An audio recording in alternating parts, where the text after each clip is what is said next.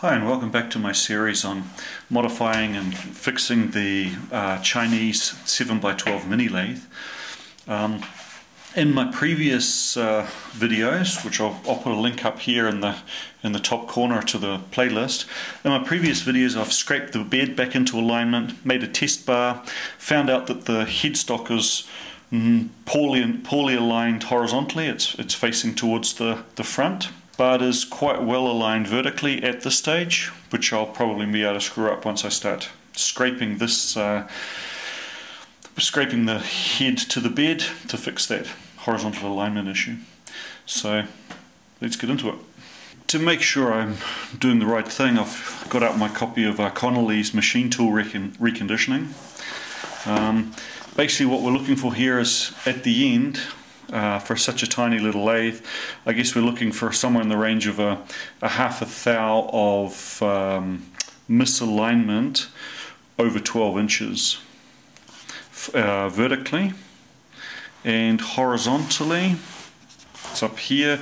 We're looking for uh, th probably three tenths of an inch horizontally over 12 inches. My test bar is not 12 inches long, it's only 8, so I'll have to, so this will be uh, 2 tenths and this will be yeah, about 3.5 tenths.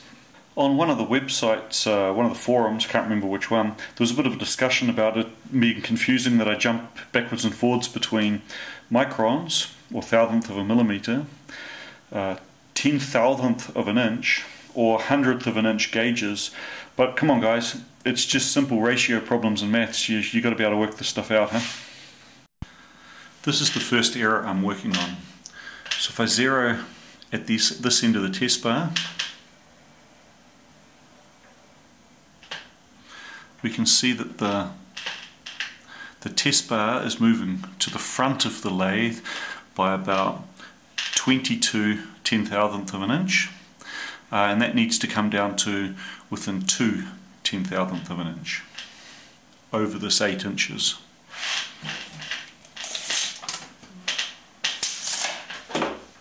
To correct that error I need to rotate the headstock in this direction.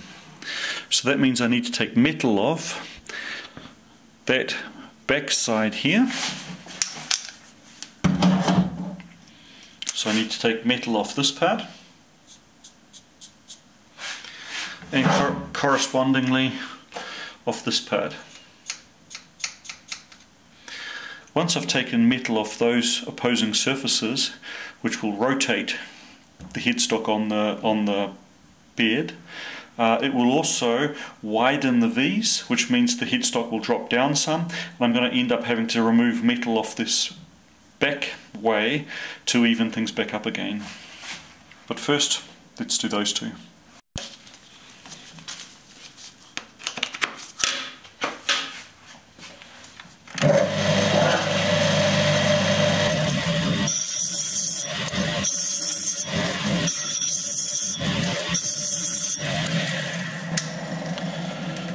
Touching up the cutting edges on the hand scraper.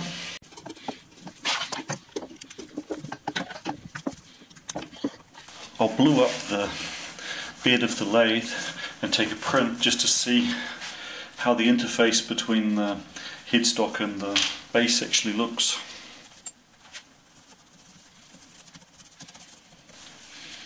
This can be a reasonably heavy heavy inking to start with because we'll see how it develops once we get closer to the final um, final dimensions.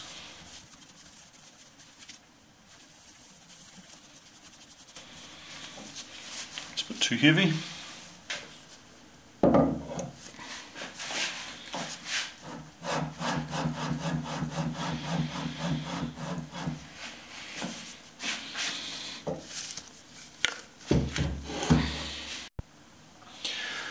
So that shows us that it's basically sitting on th roughly three points. This area, this area, and through the middle here. Now, obviously we need it to be sitting on the front and rear of the V-way, of the V-way, uh, to get a good alignment. So I'm going to need to go through this area and relieve it.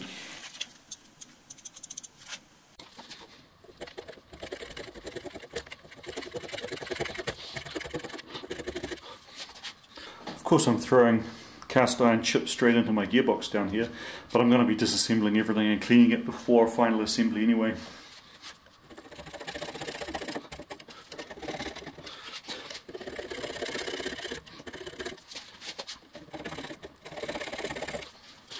I'll give it three double scrapings.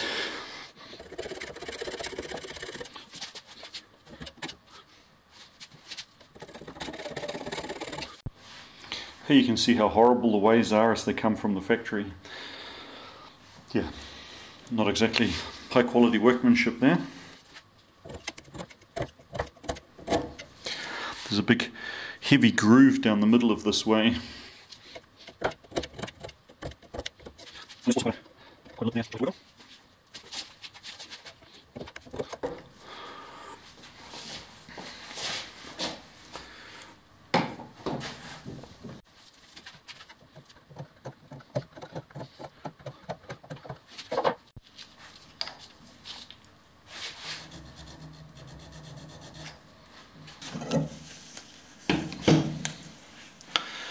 I've now relieved that center section.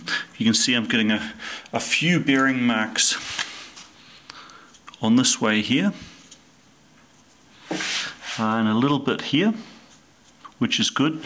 So at least the lathe is now sitting on the on the areas where it's supposed to sit. Uh, there's also a few points down through here now when I first did the initial alignment measurement, it was obviously sitting on this center section. So the next thing I'm going to need to do is mount the headstock back on the lathe, set up the dial test indicator again, and just check what the horizontal alignment actually looks like now that it's not sitting on this kind of indeterminate area, but is actually sitting in the V-ways properly.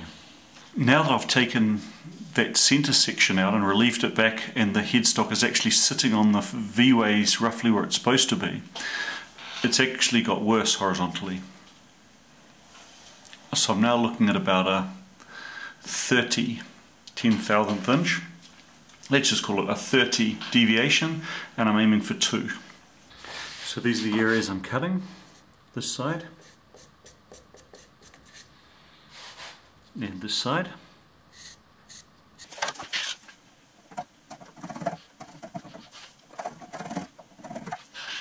After one pass, the error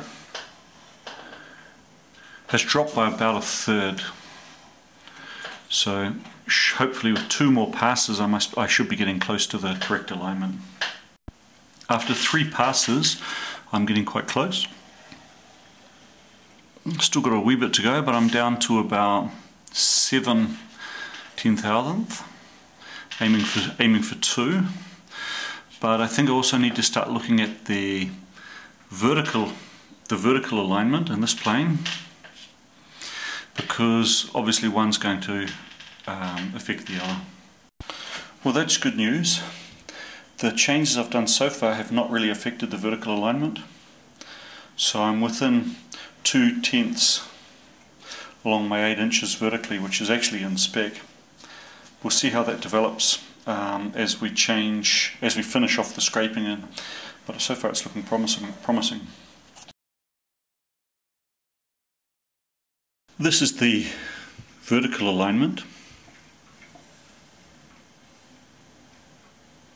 It's looking very good. We're in, within about one ten thousandth of an inch across the eight, the eight inches, um, which is less than a third of the limit that would be allowed by Connelly. In the horizontal I still have a little more work to do because we're still point, pointing forward about 7 tenths we're with a limit of 2. It's getting quite difficult to do the scraping, trying to balance um, vertical alignment, horizontal alignment, and also scraping for points to try and get a, to try and broaden out the contact areas which the uh, clamps against the bed. It get, becomes quite difficult as you get close. I've now scraped it so that the horizontal alignment is within limits. It's coming out at about two tenths, which is right on the limit that um, Connelly gives, which I'm pretty happy with. The bearing's not perfect. Um, everything outside of about this line is off the side of the bed, so there should be no bearing there. But you can see we've got, we do have a bit of bearing right throughout the area where the bolts go. Uh, also, we do have bearing on both sides of the V-way around these bolts. I'm not going to try and scrape it anymore for uh, to try and improve that bearing. These these ways are so narrow. We're only talking about uh, about nine millimeters, maybe a little less than three eighths of an inch between here and here. Um, I'm just not good enough at scraping to improve that much more than I already have. But I've got decent bearing at all four uh, bolt locations, so we'll clamp it down, measure it again, and see if that's enough. I've now bolted down the, the bed's screws, the hold down screws, and must say I'm very happy with the result. There's minimal movement in the uh, alignment as the head screws bolted down, and I've got very little run out out at 200 millimeters or 8 inches from the from the spindle. So I'm going to call that a finished. The headstock alignment is now finished to the, to the bed and we need to move on to the next topic. If any of you are curious as to why um, something like a mini lathe has a pretty poor reputation, um, apart from the fact that they were they're built terribly and the, the fits and finish as they come out of the manufacturer are basically horrible, um, even once you align everything, there's just not that much iron in this machine. Uh, and here's a good example of that. The, the limitations on um, horizontal alignment for a toolroom lathe would give you about two on this dial, two ten thousandth of a millimeter of an inch uh, over this over this uh, distance. Now, just grabbing this with your hands and giving it a twist, you can easily exceed that by 10 times in either direction even though those head, head bolts are bolted down. So what you're seeing here is I can twist this lathe bed through two thousandths of an inch and uh, plus minus just with a little bit of pre hand pressure. So there really is no replacement for um, for mass in, in, in, the rigidity of a machine tool. Um, and this is one of the large reasons why what I'm doing here is basically polishing a turd because the cutting forces, especially once things start chattering, will easily exceed these kind of loads. That's not to rag on the, the mini lathe completely. You know, if if this is all you've got space for, then you know you can still get uh, jobs done on it.